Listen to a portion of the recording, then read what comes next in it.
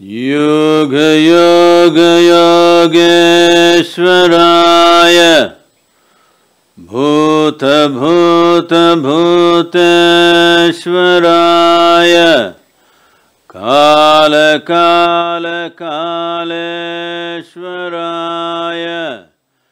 शिव शिव सर्वेश्वराय शम्भो शम्भो महादेवाय। योगयोगयोगेश्वराय भूतभूतभूतेश्वराय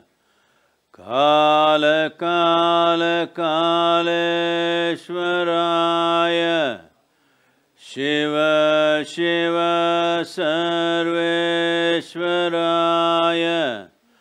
शम्भो शम्भो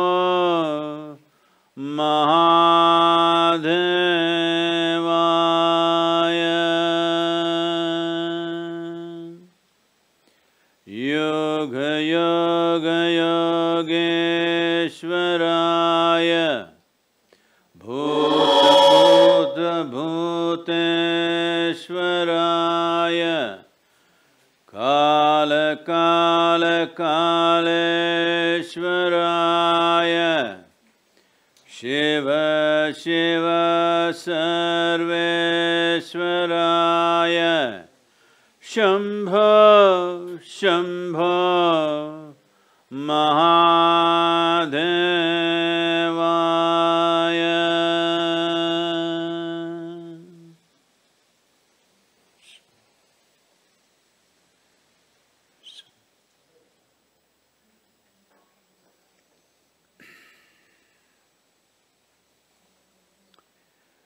వస్తావట్టిదే పోతావట్టిదే ఆశయందు కంట చేసిన కర్మము చెడని పదార్థము చేరును మీ వెంట. చేసిన కర్మము చడని పదార్థము చేరును మీ వెంట. చేతిలో అమృతము ఉన్నంతసేపే అన్నదమ్ములంతా. ఆగాధంపై పోయేనాడు ఎవరు రారు వెంట? వస్తావట్టిదే పోతావట్టిదే ఆశయందుకంట. చేసిన కర్మము చడని పదార్థము చేరును మీ వెంట. పంచభూతముల తోలుబొమ్మతో ప్రపంచమాయనట. పంచభూతముల తోలుబొమ్మతో ప్రపంచమాయనట. అంతము వరకు కించదాసతో పెంచెను జగమంతా అంతము వరకు కించదాసతో పెంచెను జగమంతా వస్తావట్టిదే పోతావట్టిదే ఆశయందు కంట చేసిన కర్మము చడని పదార్థము చేరును మీ వెంట. చేసిన కర్మము చడని పదార్థము చేరును మీ వెంట.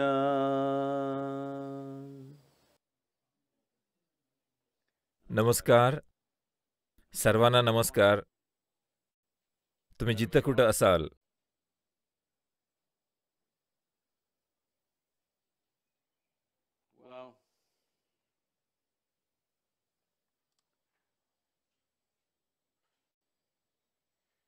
आता सध्या सगळं काही जगामध्ये करोनाबाबतच झालंय. पण आपण हे समजून घेतलं पाहिजे की व्हायरस आणि बॅक्टेरिया हे काही नवीन नाही आहेत एवढंच आहे की हा विशिष्ट व्हायरस आपल्या शरीरासाठी थोडा नवीन आहे. महत्वाची गोष्ट जी आपण समजावून घेतली पाहिजे ती म्हणजे या एका मनुष्य जीवाला कसं हाताळायचं? कारण या एकाला कसं हाताळायचं माहीत नसेल तर तुम्ही इतर सर्व काही केवळ योगायोगानंच हाताळाल. तर कर्माचा अर्थ हाच आहे. म्हणजे तुम्ही जागरूक होणं. तुमच्या कृतीबद्दल जागरूक होणं. शारीरिक कृती मानसिक किंवा बौद्धिक कृती भावनिक कृती आणि ऊर्जेच्या कृती. तुम्ही या सगळ्याबद्दल जागरूक होता. जशी जशी ही कृती अधिक जागरूक प्रक्रिया बनवू लागते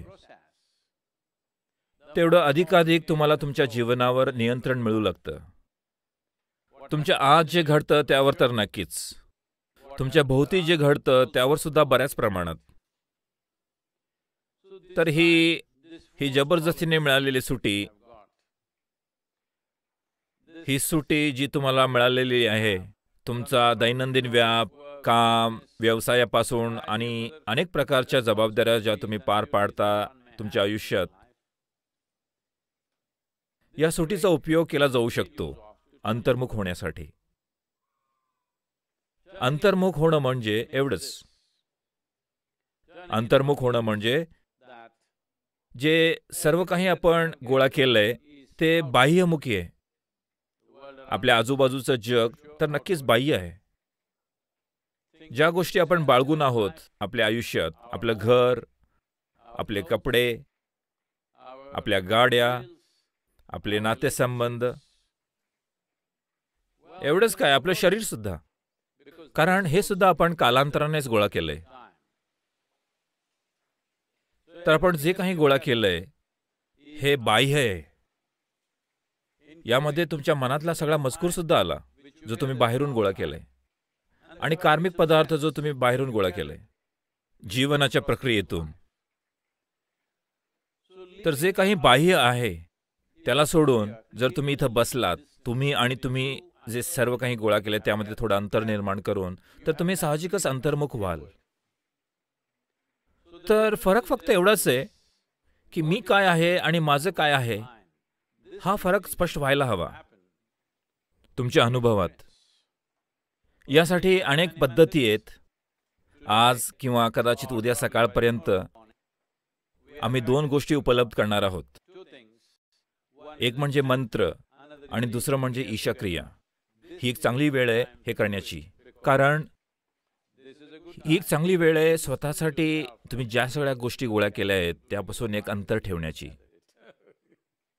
अगदी व्हायरस सुद्धा जर तुम्ही तो गोळा केला असेल तरी सुद्धा जर एक अंतर असेल तुम्ही आणि तुम्ही जे काही गोळा केले त्यामध्ये तर तुमची परिस्थिती हाताळण्याची क्षमता त्याहून म्हणजे तुमची स्वतःला हाताळण्याची क्षमता इतकी प्रचंड सुधारते इतकी प्रचंड सुधारते की लोकांना ज्यांना स्वतःला कसं हाताळायचं माहीत नसतं त्यांना तुम्ही जवळपास सुपरमॅन वाटू लागता. मी अनेकानेक वेळा सांगितल्याप्रमाणे हे काही सुपरमॅन होण्याबद्दल नाहीये. पण हे समजावून घेण्याबद्दल आहे की माणूस असणं हेच मुळात सुपर आहे. तर आता अनेक लोक तक्रार करतायत. काय करू आम्ही या सगळ्या वेळेचं? आम्ही हे करू शकत नाही ते करू शकत नाही बिझनेस करू शकत नाही बाहेर जाऊ शकत नाही हॉटेलमध्ये जाऊ शकत नाही. घरी बसून काय करू आम्ही? घर कधी एवढी भयानक जागा बनली? जर घर एवढी भयानक जागा बनली असेल तर तुम्ही हे पंधरा दिवस तिला ठीक केलं पाहिजे आणि एका सुंदर जागेत बदललं पाहिजे. कारण तुम्ही तिथं राहता. तो तुमचा आधार आहे. जर तुमची राहायची जागा इतकी भयानक असेल तुमच्या अनुभवात तर हीच वेळ आहे तिला ठीक करण्याची हो ना? मी तुम्हाला सांगतोय समस्या तुमच्या घराबरोबर नाहीये. प्रॉब्लेम तुमच्या स्वतःबद्दल आहे.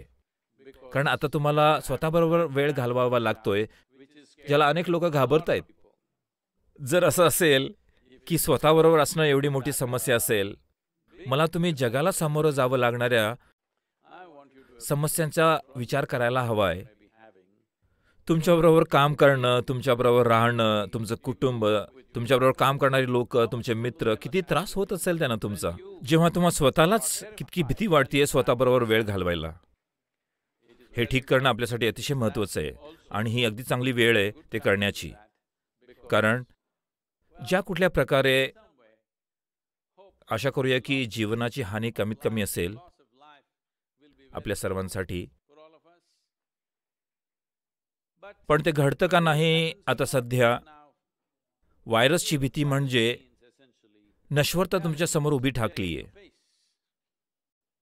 जर नश्वरता तुमच्यासमोर उभी असेल तर तुम्हाला लक्षात येतं की किती नाजूक आहे मानवी जीवन. तर अशा वेळी It is good to make a distinction.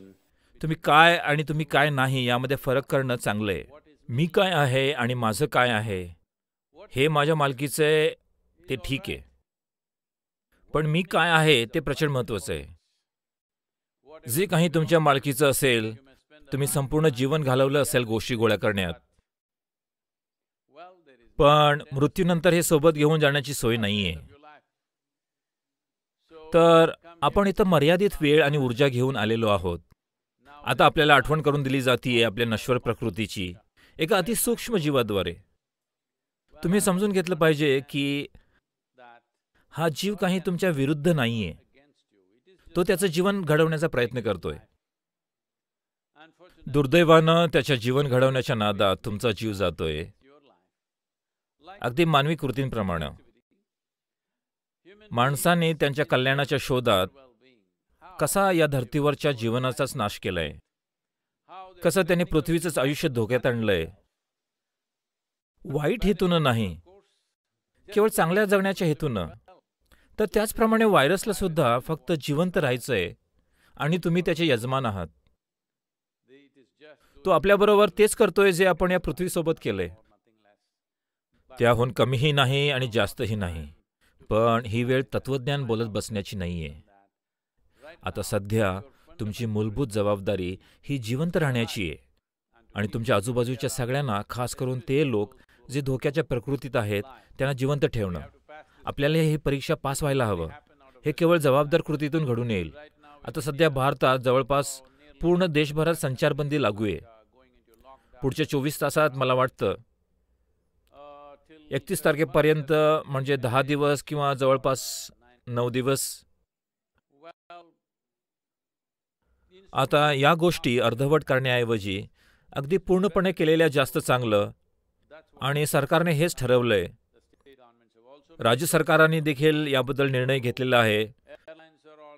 तर विमानसेवा बंद आहे ट्रेन रद्द केल्या आहेत सरकारी वाहतूक सुविधा अगदी गरजेच्या सुविधा सोडल्या तर सगळं काही बंद आहे. ही गैरसोय अतिशय गरजेची आहे सध्या यशस्वीरित्या यातून बाहेर पडण्यासाठी. नाहीतर अर्धवट निग्रहाने केवळ भरपूर गैरसोय होऊन सुद्धा परिणाम मिळत नाही. आपण अगदी पूर्णपणे हे केलं पाहिजे. आणि आपण तयार असलं पाहिजे दोन तीन आठवड्यांच्या संचारबंदीसाठी. मला माहिती आहे की हे खूप महाग पडणार आहे. आर्थिकदृष्ट्या उद्योजकांसाठी रोजगारांसाठी अशा अनेक समस्या आहेत. पण या सगळ्या समस्या परवडणाऱ्यासारख्या आहेत मरून जाण्याऐवजी. जिवंत असणं ही अतिशय महत्वाची गोष्ट आहे. समस्या आपण हाताळू. आपल्या जीवनाचे तुकडे आपण पुन्हा उचलून जोडू. ही परिस्थिती निवारल्यानंतर. आणि पुन्हा आपली आयुष्य उभी कशी करायची ते बघू. संस्था उद्योग व्यक्तिगत लोक सगळ्यांनाच याचा त्रास होणार आहे. पण हे महत्वाचं आहे की आपण लोकांना मरू देता कामा नये. आपण लोकांचे जीव गमावता कामा नये. केवळ बेजबाबदार कृतीमुळे.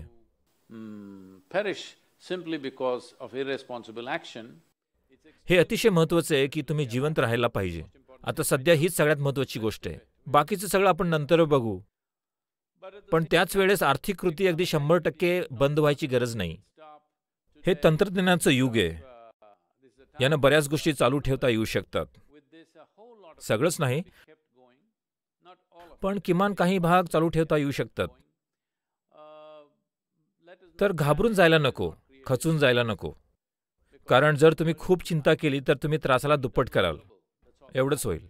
असाही पुरेसा त्रास आहे. तो तुमच्या मनात कितीतरी पटीनं वाढवू नका आणि भीती निर्माण करू नका.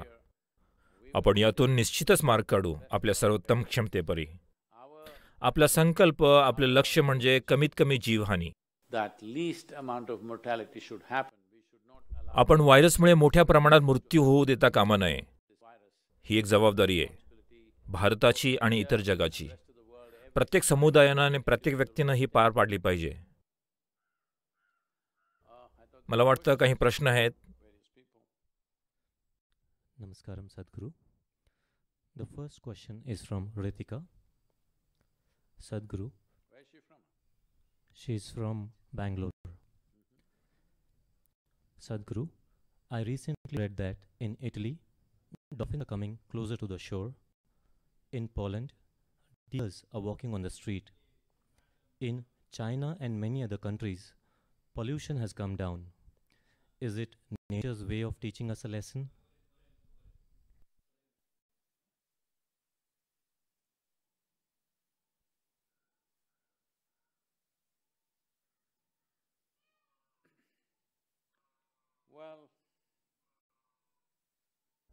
आपल्याला ह्युमन बिईंग असं म्हटलं जातं. धर्तीवरच्या इतर कुठल्याच प्राण्याला बिईंग म्हणत नाहीत. आपण ह्युमन बिईंग्ज आहोत. याचा अर्थ सगळ्यात मूलभूत गोष्ट म्हणजे आपल्याला हाऊ टू बी म्हणजे कसं असावं हे माहीत पाहिजे. दुर्दैवानं मानवजात याला चुकीचं ठरवण्याचा प्रयत्न करतीये. मी हे अनेक अनेक प्रकारे सांगत आलेलो आहे. जर आपण जागरूकपणे गोष्टी बरोबर पद्धतीने करायला शिकलो नाही तर निसर्ग आपल्याला ते अगदी क्रूर पद्धतीनं शिकवेल. In a very cruel way. सगळ्यात महत्वाची गोष्ट या सगळ्यात म्हणजे खुद्द लोकसंख्या. आता सध्या करोनाबाबतची सगळ्यात चिंतेची बाब काय आहे तर लोकसंख्येची दाटी. ज्यामुळे तो सर्वत्र पसरतोय. पण कुणालाच याबद्दल बोलायचं नाहीये. साधारणपणे जगातल्या नेत्यांनी याबद्दल बोललेलं नाहीये. कारण कुणालाच धार्मिक गटांविरुद्ध जायचं नाहीये. जे कायमच याच्या विरोधात आहेत ज्या कुठल्या कारणानं असेल हे फार दीर्घकाळ चाललेलं आहे. तर एक साधी गोष्ट म्हणजे लोकसंख्या. हाच खरा प्रॉब्लेम आहे जर तुम्ही मला विचारलं तर. म्हणजे आपण चांगले आहोत पण जरा जास्तच आहोत. आता आपण मृत्यूला आपल्या ताब्यात घेतलंय वैद्यकीय शास्त्रांच्या मदतीनं लसीकरणातून आणि या सगळ्या गोष्टी. एकदा का आपण मृत्यूला आपल्या ताब्यात घेतलं की मग सध्या सुज्ञपणाची गोष्ट म्हणजे जन्मसुद्धा आपल्या ताब्यात घेणं. जन्म आपण मानतो की ते ईश्वराचं काम आहे. मृत्यू त्याबद्दल आपल्याला खात्री करायची की आपण त्याची जबाबदारी घेऊन त्याला हाताळतो. जन्मसुद्धा त्याच प्रकारे हाताळायला हवा. जर मृत्यू पुढे ढकलला गेलाय तर जन्माला सुद्धा पुढे ढकलायला हवं. ही एक महत्वाची गोष्ट आहे. मानवी ठसा या धर्तीवर इतका मोठा झालाय इतका प्रचंड मोठा झालाय की इतर कुठल्या प्राण्यासाठी राहायला जागा सोडली नाहीये. आता हे वैज्ञानिकदृष्ट्या अगदी बरोबर नसेल कदाचित नाहीच आहे पण जर तुम्ही एक व्हायरस असला असता जर तुम्ही एक व्हायरस असला आणि तुम्ही दुसऱ्या प्राण्यांच्या शरीरात राहत असला आणि प्राण्यांची संख्या खाली जात चालली असेल तर तुम्ही एक नवीन घर निवडणार नाही का? कदाचित तेच या व्हायरसने केलं असेल. कारण पुरेसे प्राणी राहिलेले नाही आहेत एक गोष्ट म्हणजे जंगली प्राणी कमी झालेले आहेत. अगदी दुखद प्रकारे. आणखीन एक गोष्ट म्हणजे दररोज इतर प्राणी कापले जात आहेत. एका वर्षात आपण सत्तर अब्जाहून अधिक प्राणी कापतोय. फक्त खाण्यासाठी. सातशे कोटी लोक सात हजार कोटी प्राणी कापतायत जगभरात. मला खात्री आहे की आपण तेवढे काही खात नाही आहोत. पण तितक्या बेजबाबदारपणे आपण जगतोय. तर जर प्राणी गायब होत असतील तर कदाचित व्हायरस स्वतःला बदलतायत माणसात राहण्यासाठी. मी काही शास्त्राच्या आधाराने बोलत नाहीये केवळ साधा तर्क आहे. जर तुम्ही एक व्हायरस असाल तर तुम्ही तसं करणार नाही का? नक्कीच तुम्ही तसं कराल. कारण जर तुमच्या राहायच्या जागा गायब होत असतील तुम्हाला नव्या जागा शोधाव्याशा वाटतील. नवीन जागा जिवंत राहण्यासाठी. तर एका प्रकारे खरं आहे पण ही वेळ या गोष्टी बोलत बसण्याची नाहीये. ही वेळ म्हणण्याची नाही की तुम्ही असं केलं. म्हणून तुम्हाला अशी शिक्षा झाली. नाही, ही ते बोलण्याची वेळ नाहीये. ही शहाणपणानं कृती करण्याची वेळ आहे. जर लोक बाधित झाली असतील आणि पीडित असतील, तर त्यांना तुमच्या करुणेची आणि लक्ष देण्याची गरज आहे. ही वेळ हे सगळं बोलण्याची नाहीये.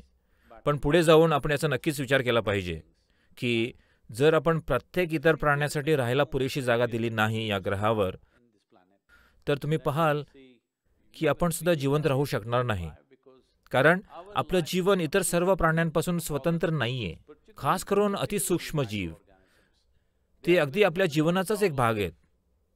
तुम्ही तुमचे नातेवाईक आणि मित्रांविना राहू शकता पण तुम्ही या सूक्ष्म जीवांशिवाय राहूच शकत नाही. ते कितीतरी गोष्टी घडवून आणतात आपल्यासाठी. न जाणो हा व्हायरस देखील तुमचा मित्र बनेल काही काळानं. कारण हे जीव याच प्रकारे कार्य करतात. ते फक्त जगण्यासाठी आणि वाढण्यासाठी जागा शोधत असतात. तर त्यांचं कार्य एका ठराविक प्रकारे चालू असतं. ही कुठली शिकवण आहे का? हे पहा प्रत्येक परिस्थितीमध्ये एक शिकवण असते. जर आपली शिकण्याची इच्छा असेल तर. जर तुमची शिकण्याची इच्छा असेल तर अगदी संकट येण्याची गरज नाही. प्रत्येक दिवशी प्रत्येक क्षणी एखादी शिकवण असते. पण दुर्दैवानं आपण शिकत नाही. आपण संकट येण्याची वाट पाहत असतो. आणि मग आपल्याला त्याबद्दल तत्वज्ञान सांगायचं असतं. कृपया तत्वज्ञान बोलत बसू नका. कृपया असं बोलू नका की हे घडणारच होतं आणि आपली हीच लायकी आहे. लोकांची हीच लायकी आहे. ज्या लोकांनी त्या गोष्टी केल्या त्यांना अद्दल घडली. हा मूर्खपणा सोडा. हे आपल्याला कुठंच घेऊन जाणार नाही. आता सध्या वेळ आहे हे पाहण्याची की कसं आपण हा व्हायरस पसरवणार नाही? महत्वाची गोष्ट म्हणजे तुम्ही त्याचे वाहक बनू नये. तुम्हाला त्यांची लागण होऊ नये आणि खात्री करा की इतर कुणाला लागण होणार नाही. साधी गोष्ट म्हणजे अंतर ठेवणं. अंतर ठेवणं सगळ्या गोष्टींपासून. ही वेळ आहे एकटं राहण्याची. ही वेळ आहे अंतर्मुख होण्याची. मी तुम्हाला आध्यात्मिक बनवण्याच्या कितीतरी वेळांपासून प्रयत्न करत आलो आहे पण आता मला असं वाटतंय की त्यासाठी व्हायरसचीच गरज होती.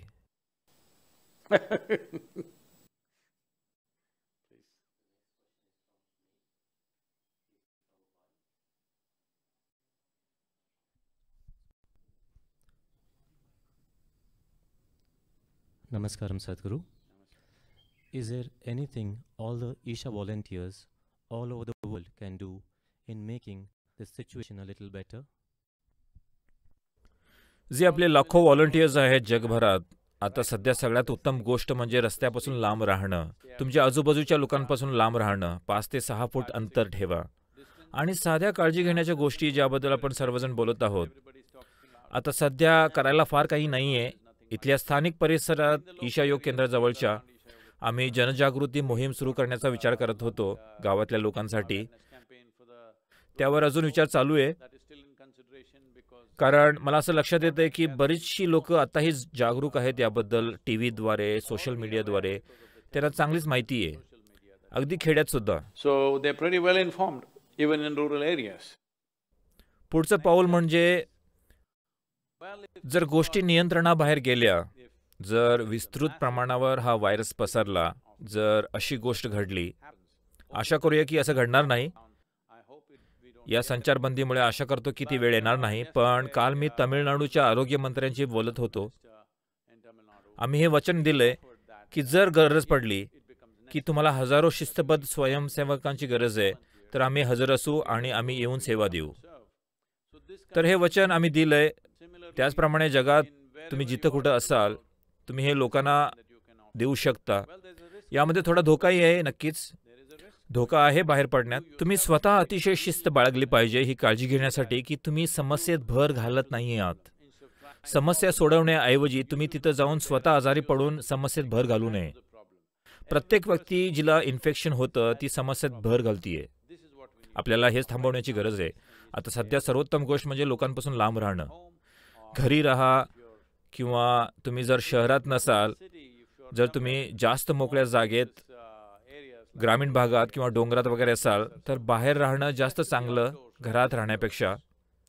पाच दहा लोकांबरोबर छोट्याशा बिल्डिंगमध्ये दाटी करून राहण्याऐवजी बाहेर राहणं चांगलं. महत्वाची गोष्ट म्हणजे तुम्ही सतत किमान दोन मीटर अंतर ठेवा तुमच्या भोवती. हे टळून जाईपर्यंत.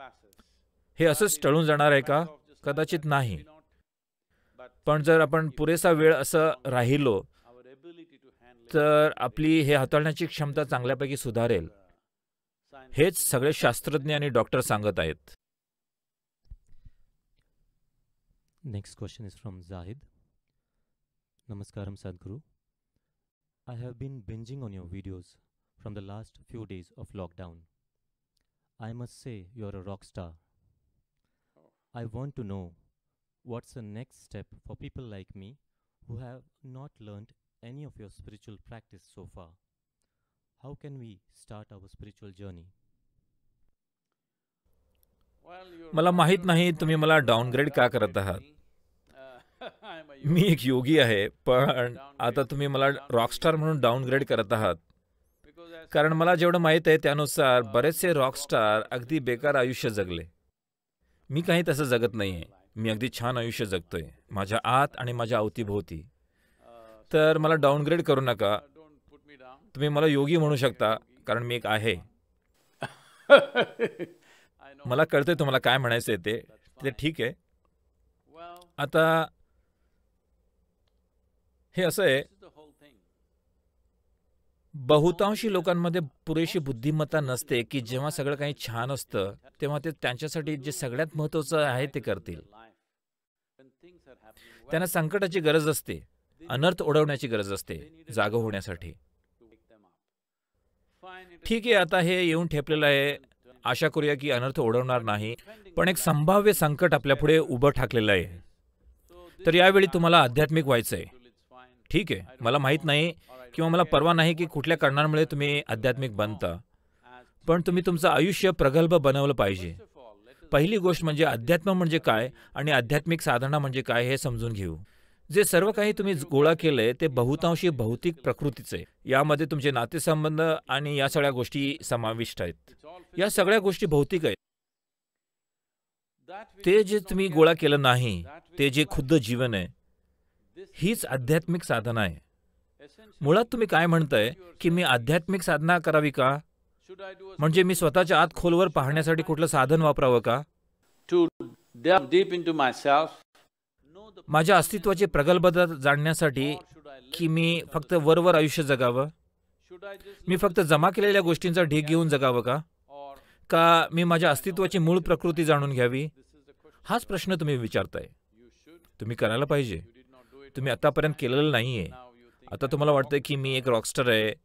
तर जर तुम्हाला ते आवडत असेल हरकत नाही तुमच्यासाठी जे काही काम करत असेल पण मी आधी म्हटल्याप्रमाणे आम्ही एक पॅकेज उपलब्ध करणार आहोत तुमच्यासाठी ज्यामध्ये एक मंत्र आणि एक ठराविक साधना जिला ईशाक्रिया हे ॲपवर उपलब्ध असेल. तुम्ही याचा उपयोग करू शकता. हा मंत्र समत प्राण जागृत करण्याबद्दल आहे किंवा शरीरामध्ये उष्ण निर्माण करण्याबद्दल आहे. उष्णाचा शब्दशा अर्थ आहे गरमी. पण हे तापमानाच्या अर्थाने नाहीये. आहे पण उष्ण आणि शीत या दोन गोष्टी असतात. शब्दशः याला गरमी आणि गारवा म्हणून समजलं जातं पण त्याचा अर्थ तसा नाहीये. ते त्या दिशेनं निर्देशित करतं पण त्याचा तो अर्थ नाही. तर तुम्ही पुरेसा समत प्राण जागृत केलात आणि उष्णा निर्माण केलीत शरीरात तर तुमची प्रतिकार करण्याची यंत्रणा जास्त प्रभावीपणे कार्य करेल. तर हा मंत्र त्याबद्दल आहे. हा मंत्र एक प्रकारचं बळ निर्माण करेल प्रतिकार करण्याच्या यंत्रणेत. कारण तो उष्णा निर्माण करतो. तुम्ही ऐकलं असेल कदाचित नसेल पण भारतीय लोकांनी हा शब्द ऐकला असेल तपस. तपस म्हणजे तप म्हणजे उष्णता. तपस म्हणजे शरीरात उष्णता निर्माण करण्याची प्रक्रिया. कारण शरीराची रोगप्रतिकारक क्षमता उच्च पातळीवर ठेवणं महत्वाचं आहे. जर आपल्याला जीवनाच्या प्रक्रियेतून आरामात जायचं असेल तर. लहान सहान गोष्टी आपल्याला जीवनाच्या लक्षापासून डगमगू देऊ नयेत. सर्दी आणि खोकला आणि ताप यासारख्या गोष्टी लोकांना आयुष्यात त्यांना जे काही करायचं आहे त्यापासून रोखून ठेवत आहेत याचं साधं कारण म्हणजे रोगप्रतिकार शक्ती कमकुवत असल्यामुळे. तर आम्ही तुम्हाला हा मंत्र शिकवू आणि ईशाक्रिया जी तुम्हाला स्वतःला थोड्या अंतरावर धरून ठेवायला मदत करेल किंचित अंतरावर तुम्ही गोळा केलेल्या सगळ्या गोष्टींपासून. Little away from everything that you gathered अगदी तुमच्या शरीरापासून आणि मनाच्या पसाऱ्यापासून सुद्धा. जर तुम्ही हे केलं हे पहा तुम्हाला फक्त दोन प्रकारचे दुःख माहिती आहेत. शारीरिक दुःख आणि मानसिक दुःख. एकदा का तुम्ही अंतर निर्माण केलं तुम्ही आणि तुमच्या शरीरामध्ये तुम्ही आणि तुमच्या मनामध्ये तर हा दुःखाचा अंत आहे. तर हीच अशी वेळ आहे की तुम्ही स्वतःला असं बनवलं पाहिजे की तुम्ही दुःखाच्या पलीकडे आहात. एकदा का तुम्ही तुमच्या दुःखाच्या पलीकडे असला की स्वाभाविकपणे तुम्हाला तुमच्या मूळ अस्तित्वाचा ठाव घ्यावा असं वाटेल This question is from Sergi. Dear Sadhguru, I live in France, but I'm an Italian. All my family is in Italy. How can we not panic and be calm in this situation? It is very difficult for me to stay quiet. Thank you for your help and take care of you.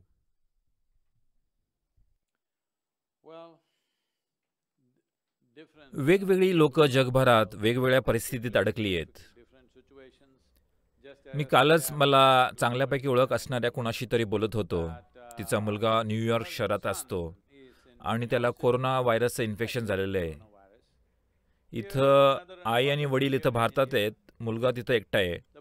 त्याच्या अपार्टमेंटमध्ये आणि ते अत्यंत घाबरलेले आहेत. आता ती मला म्हणतीये का आपण आपल्या मुलांना एवढं लांब पाठवतो? ते इथंच का नाही राहू शकत आनंदानं आपल्या बरोबर? एवढं लांब पाठवलं त्याला आणि आता त्याला कोरोना व्हायरसचं इन्फेक्शन झालंय. आणि मला काय करायचं कळत नाहीये. मी तिला आठवण करून दिली की दहा वर्षांपूर्वी तुम्ही सुद्धा तुमच्या पालकांपासून खूप लांब होता. आता तुम्ही परत आले आहात. कदाचित तुम्ही म्हणण्याआधी तो सुद्धा परत येईल. पण तो मुद्दाच नाहीये. मुद्दा हा आहे की तुम्ही हे समजून घ्यायला हवं की इथं किंवा तिथं गेल्यानं किंवा हे किंवा ते केल्यानं मानवी कल्याण साधलं जाणार नाहीये. इथं अगदी मस्त पाऊस सुरू झालाय. आम्ही बाहेर बसलोय.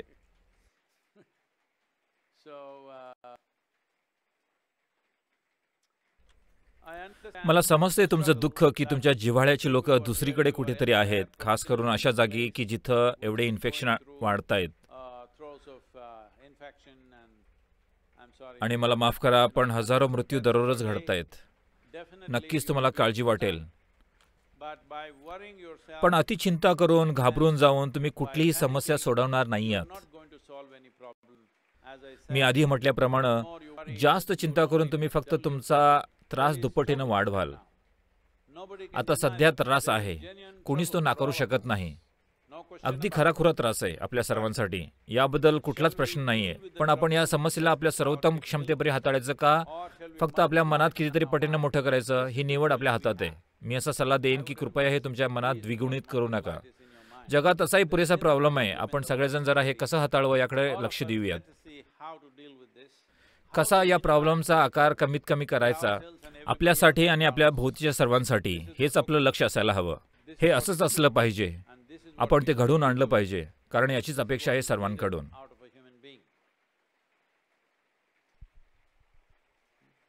This question is from Tejas. Namaskaram Sadhguru. I recently read an article mentioning that after the lockdown in China, divorce rate went up. Now that we are starting it in India, do you have any tips for us Indian couples?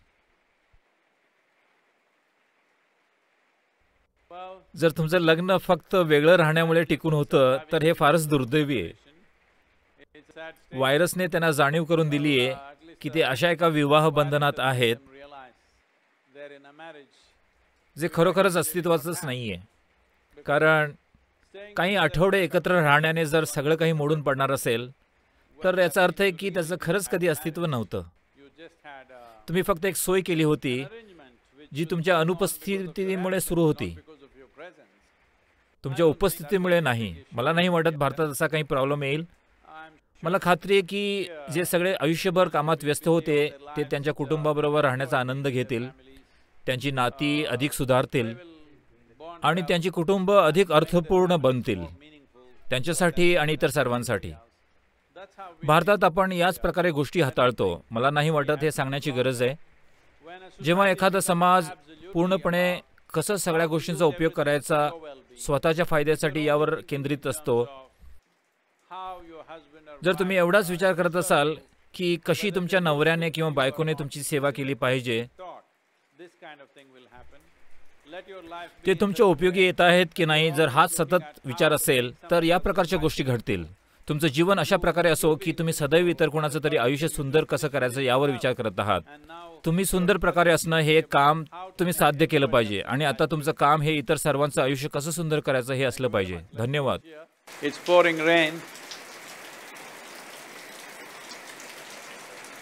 Yoga yoga योगेश्वराय भूतभूतभूतेश्वराय कालकालकालेश्वराय Shiv Shiv सर्वेश्वराय। Shambho Shambho महाधे